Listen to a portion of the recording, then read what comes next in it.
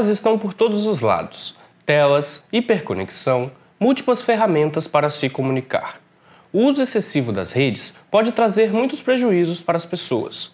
No ambiente de trabalho, por exemplo, o problema pode ser o esgotamento. Com a, o trabalho híbrido, e aí a necessidade de você estar conectado no trabalho 24 horas, a, a pouca diferença entre a casa de trabalho, uma vez você está trabalhando em casa, então essa promove uma hiperconexão, né?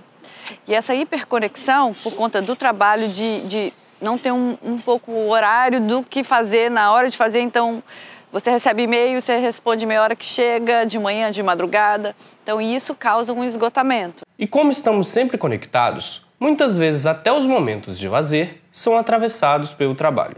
Principalmente com o uso de WhatsApp, por exemplo, é, os trabalhadores têm sido demandados né, e têm estado num permanente estado de ocupação laboral do ponto de vista que o, uma certa sacralidade do ambiente, do momento de lazer, do momento de não trabalho, fica é, atravessada pelo trabalho. Se por um lado as múltiplas demandas que chegam pelo celular tomam o tempo e a qualidade de vida das pessoas, por outro, tirar aquele tempinho para dar uma olhada nas redes também pode causar angústia, tanto pelo bombardeio de informações quanto pela exposição de vidas perfeitas. Falamos hoje de uma sociedade de desempenho, né? Nós temos que ser é, super bem informados, super atualizados, temos que ser ter a pele perfeita, é, fazermos o melhor skincare, é, ser atléticos. E as redes sociais fazem parte de uma espécie de jogo de visibilidade